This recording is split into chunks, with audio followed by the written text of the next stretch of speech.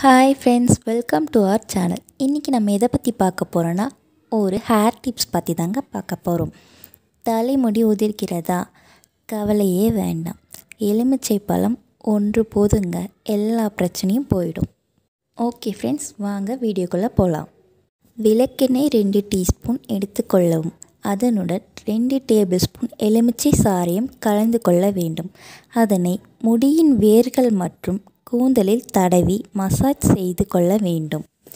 இதனை அப்படியே இருபது முதல் முப்பது நிமிடங்கள் விட்டுவிட வேண்டும். பின் தலைமுடியை அலசுங்கள். இதனை வாரத்திற்கு ஒரு முறை செய்வதால் தலைமுடி உதிர்தல் பிரச்சனையானது விட்டால் போதுமென்று ஓடியே போய்விடும். ஓகே ஃப்ரெண்ட்ஸ் நெக்ஸ்ட் வீடியோவில் பார்க்கலாம். பாய்